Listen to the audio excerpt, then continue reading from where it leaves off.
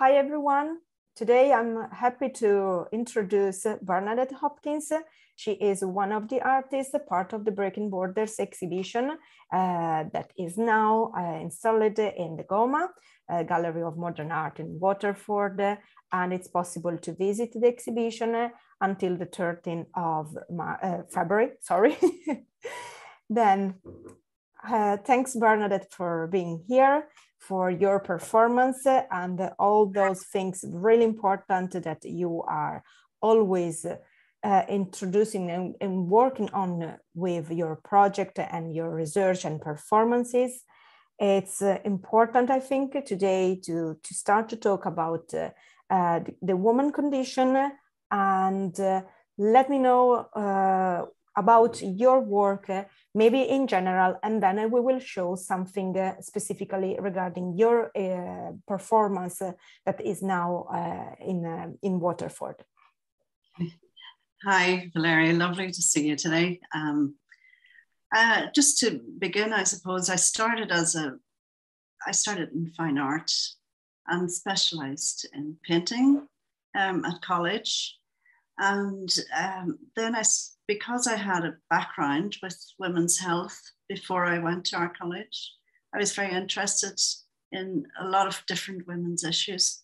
So the paintings that the paintings that I made were large six foot by six foot paintings around women's issues and to do with women's bodies and, and that. So um, as I started to try to exhibit them, I had a lot of trouble exhibiting that work because people would object and the work get taken down. And you know it was it was it just went on. A couple about four exhibitions were taken down because um, of complaints by certain people who were you know just objected to women's issues being dealt with in such a public way i think at the time. So that's gone back i suppose 20 years ago. And then I have always worked sort of as a social practice artist as well because I'm interested in different issues, particularly um, women's issues and also climate change. And, you know, that's, I've been an activist in that yeah. for quite a while and human rights and that as well. So, um, sort of my work just naturally developed into performance work because I find it easier to express myself through performance um, because I wasn't getting censored so much, you know. so uh, that's sort of the background to to my work um, and why I ended up as a performance artist. I went on to do my master's in social practice art. Mm-hmm.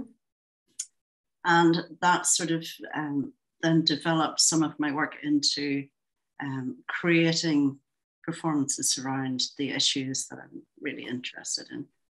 So um, this work was a piece of work um, that was around borders because I live in Donegal, which is in the Republic of Ireland and which is sort of the most northerly part of Ireland.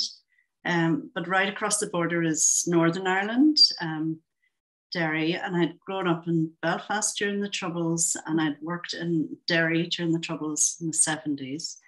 And during that time, with everything going on, I also saw that women couldn't even get contraception at that stage because some of a lot of the GPs wouldn't give them contraception.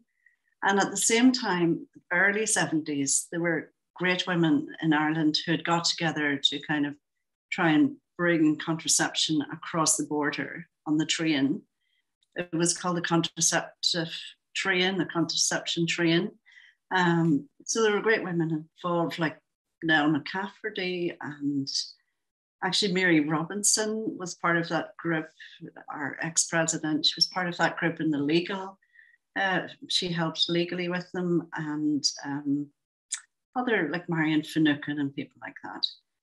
So um, yeah, so I kind of thought at the time, this is just so bizarre, you know, that women haven't got control of their own reproductive, they don't have their reproductive rights.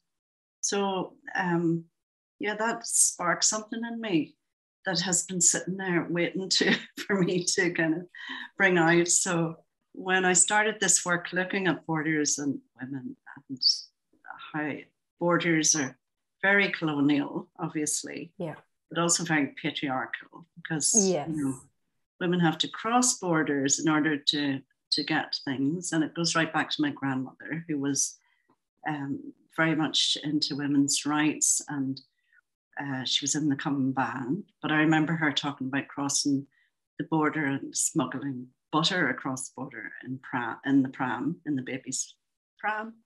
So yeah, so that that went into the performance as well, and mm. also lots of women had to smuggle lots of different contraceptives across in in prams and things like that.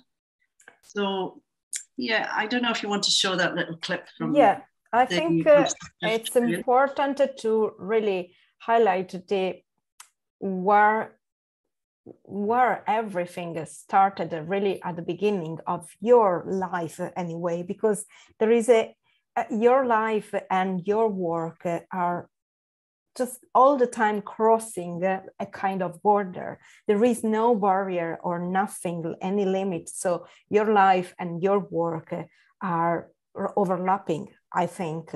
They are part of your background, of your family uh, history, because your grandmother, as you said before, it was part of this activism against the patriarchy anyway of all these things that organization or anyway the government that is trying to control the woman. And uh, i think that i, I, I want just to uh, interrupt you to say that it was important uh, what you, you lived in your life in your history and your background and now it's beautiful to see how uh, in response of all this uh, background, you are reacting, creating this mm, so these performances. I don't know your paintings, how they were at the time, but I think anyway, if they are strong and they were so strong, and that people they rejected them because they were so, I think, too strong for them. I think they were really intense power and. Uh, beautiful to to see something that happened anyway in the past and in a context that is not the, the present one but it was something that happened anyway uh, before all this kind of social revolution even if it's just maybe apparently a, a social revolution but i think we are still under the patriarchal control anyway yeah and you know, I think particularly the last number of years in Northern Ireland, I mean, yeah. women still haven't got their rights, abortion rights, and things like that there yet. And it's 50, I think it's 51 years since England, English women got abortion rights. Yeah. But Irish women in the Northern Ireland can't, can't at, at the moment that it's sort of still up in the air. It's it's very strange. okay. So very at strange. the moment, it's still something that is not possible. So it was meant to be. Uh, the legislation was meant to come through three years ago. Okay. And there was a certain amount of legislation came through for it, but then what happened was when when that sort of went to Stormont and that there was uh, so the services, all the funding was cut.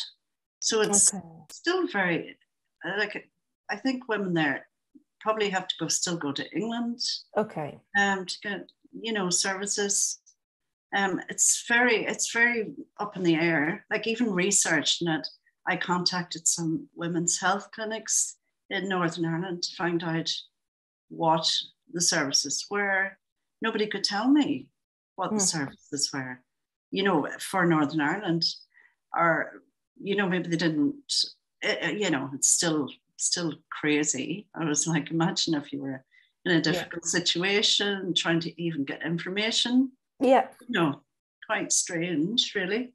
Um, in the Republic of Ireland, yeah, women did get right to choose. Mm-hmm. You know, that happened three years ago here. Yeah. So, um, so just across the border, there's a complete difference. Yes, and it's the same Iceland. That is for yeah. me yeah. the, the one thing that I will never really understand this contradiction that there is in this country that is not a country as not part of the same government but anyway there are physical and geographical borders in this case that uh, are a kind of definition of ireland as an island altogether. So it's for me unbelievable how uh, something that can happen in uh, in the republic of ireland can really influence any way that positive uh, repeal that happened uh, three years ago now in uh, in Ireland in Northern Ireland can be uh, now can change uh, the situation. I, I, can understand really. Mm. It's and you know I'm too Italian in this.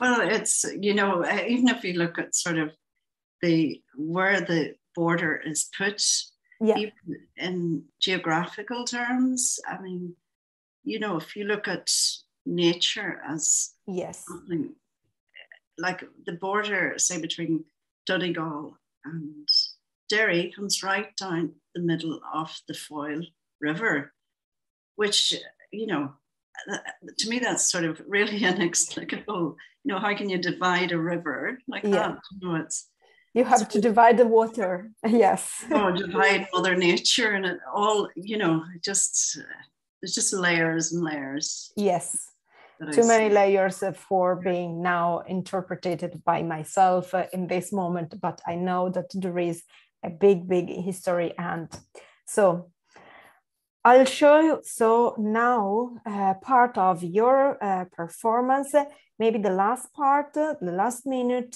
and then we will be back here to continue to uh, continue this conversation. So.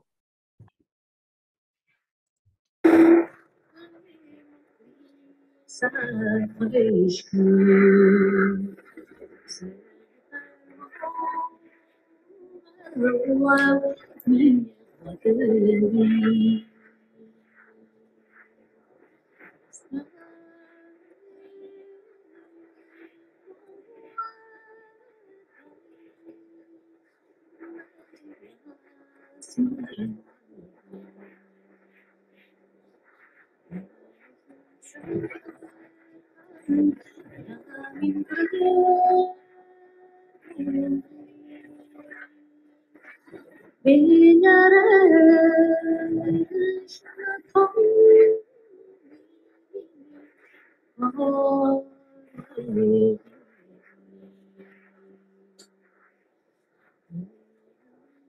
So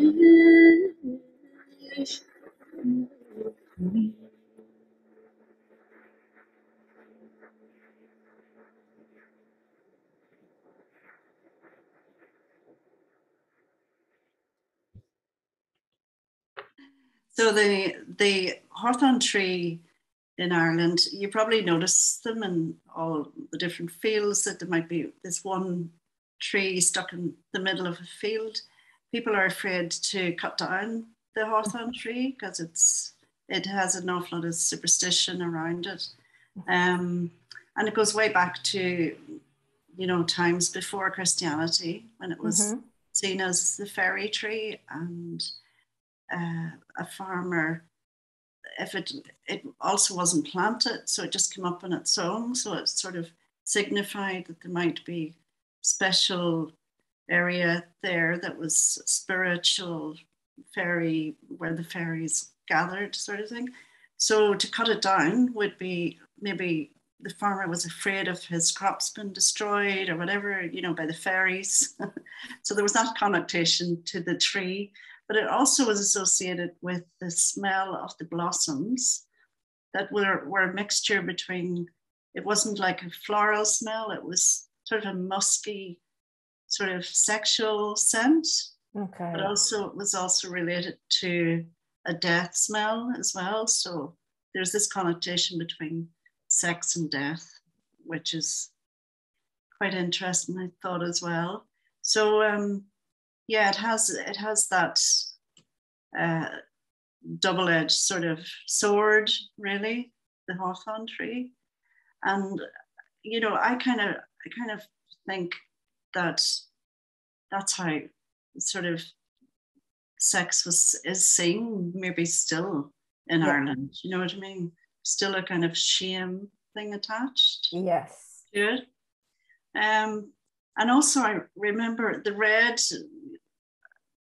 The red, red is sort of significant, obviously, on different levels. But I remember my mother talking about going to dances. Okay and she would use they didn't have lipstick so there was a paper that they used to get and the title of it was in red and so she used to stain her lips with this the red that would come off. And there's a there's another there's a couple of layers of stories i could go into about that with my mother. Um so uh, you know again she was she had gone to the convent at one stage to be she didn't want to become a nun, but she her, she had a broken engagement. Oh. And she went to the conference and she wouldn't she wouldn't cut her hair. She had very long hair, and she wouldn't not wear the red lipstick. so she was basically asked to leave, and she wanted to do nursing, and they didn't want her to do nursing. So she was basically she was a disaster. She, she was not really for that life. Absolutely yeah. not. Yeah. so strangely enough she went on to become a nurse. And while she was nursing she met my father who had gone on to be a priest. Oh. And he got sick and he ended up in hospital and they fell in love with each other and that's they, great. And obviously the, he left and you know, of course, of course. and all that. But yeah, so there's a whole lot of there's a lot of different layers within that performance. Yes, it's so many deep in your story, in your yeah. background. This is unbelievable. How many layers uh, you are hiding uh, just behind a, a just a, a red ribbon line uh, or whatever it is, but the red color is connecting so many stories and layers of your story. So, so it's crazy. Thank you for sharing this information. And I think it's a great detail. And at the same time, I'm curious to listen something about your um, your dress, how why you decide to wear the hat, that coat, or because I think nothing is there just um, uh, this, it's not an error. Everything is ponderate. I think everything is uh, really considered deeply. Everything has a meaning. So I'm sure that even your dress and even uh, the posture that you are using in the performance has a meaning. So yeah, well, the berry I always associate berries with resistance. Yes. Yeah. So, um, you know, the berry, the resistance movement in France wore berries. So I kind of feel that women's resistance is often very much goes unseen. Um, yeah. So the berry, I'm wearing that berry. It was a very cold day, I have to say as well. the berry was great to have on, but it was that sense of being a resistance person kind of thing, woman um, and also the green because you know it's very much I suppose to signify the Irish the Irish context the landscape you know um, also the juxtaposition with that and the red you know the two colors yeah. that are op- opposite you know but really work with each other um, so there was those influences the coat the same like the green and also to be, you know, it's like I do think of nature as, as a woman, you know, it's like female, I, you know, I kind of see it in that way, Mother Earth. So also to be part of the landscape. And that road runs between Derry and Donegal. So behind me, there's a very ancient uh, ring fort that was um, it was a seat of the kings of okay. the time, back, and it goes right back to sixth century. So it's called a Grinalia, and it's so it's in the distance. You can actually see it. right behind me. And in front is the river Foyle. So it's got these very, you know, very beautiful, the river Foyle, and still has a lot of wild salmon and things that live in it like that. And uh, even the barbet, that uh, it's kind of something that is recurring all the time in this performance. So the barbet, of course, is something that is dividing, uh, something that is protecting in a certain way, but for me, it's more dividing. Mm-hmm. So uh, just let me know if something connected with the troubles, all that uh, history of your life, and if anyway there are other meanings and other layers uh, to read better, even that element in your performance. The, the barbed wire obviously is, you know, you would see it a lot if you look back at photographs of the troubles and that. And it's actually in some of my older paintings, things like that. Um, the the way the wool gets caught in it, sheep get caught in barbed wire too. You often see, you know, real yeah. sheep's wool caught on the barbed wire, so struggling to get, I suppose, in and out of fields and that. It always upsets me when I see it, you know, because I always yeah. think, you know, did the sheep get injured, you know, kind of thing. But I think for for women, it's like that too. Borders represent that um, struggle to kind of get in and out of places. Of course, yeah. So maybe it's time to see the other clip uh, on YouTube that you shared with me.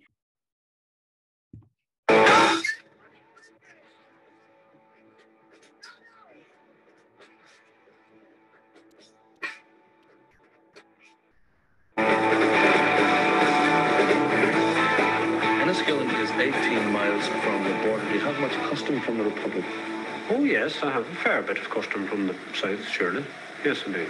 Would you say that it's all Protestant? the best Roman Catholic Protestant you'd get.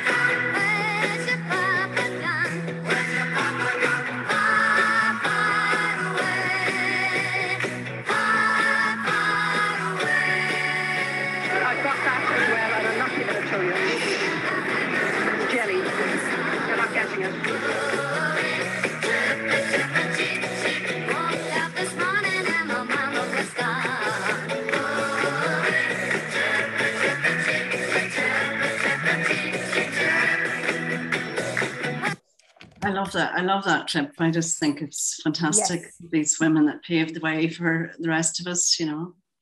No, it's great. And uh, it's giving us uh, a, a nice picture of, uh, and a real picture of the situation, what happened and what there is still in place on the plate of women uh, in Northern Ireland, I think. Mm. Yeah, and how, how it changed. It's sort of, you know, the Republic now is sort of more forward thinking with regard to women's reproductive rights um, than Northern Ireland. And at that stage, it was the other way around in some parts, but you know, places like Derry, it was very much dependent on who your GP was, whether you got access to certain things or not. So, yeah. Yeah. So thanks for all this uh, nice uh, so thanks for this really interesting nice conversation and thanks for all this information that they are something uh, absolutely new for me and it's always unbelievable how many really how many information how many layers it's possible to get after having a, a proper conversation with an artist because looking at your performance it something that uh, really impressed me. But now that I know and I have all these details and information regarding your uh, performance and your background, now I'm, I can look at this performance with a different eyes and understand better the, the present and the past. And absolutely, it's uh, it's something that art has to be something more than only a nice, a nice video, a nice performance, a nice painting. But I think we need a, a sort of beautiful artworks that they are more than this. And I think it's important Thanks for our society and this, I think even for all these times that are still crazy anyway. Thanks very much for um, you know giving me a chance to talk about it because sometimes you do performances and you know yeah you do think probably would be really nice to be able to get a chance to talk about it too you know to people um, and when you're in the live performance situation yeah um, people often come up and chat to you afterwards and then you do exactly. get a chance to kind of um, like just talk a little bit more. But it's yeah. great to have the opportunity to to show my work. I mean, it's just so important yes. to me to, to be able to express what I have to express. And um, some of it, obviously, some of it's running on personal kind of memories and things, but a lot of it is still very much to do with the work that still needs to be done for women's yeah. rights you know, exactly. important. Exactly. So thanks for yes for everything what you are doing for this exhibition and in general with your art. And uh, i'll see you hopefully soon uh, here in ireland. And maybe we will have a, a, a proper conversation uh, in the real life. Yeah i hope so. Thanks very much Valeria. Thank, Thank you so much Thanks, and uh, I'll see you, all of you, next week with uh, Beata Piekarska-Deli, the last artist of this uh, exhibition. Thank you. Bye. Bye-bye.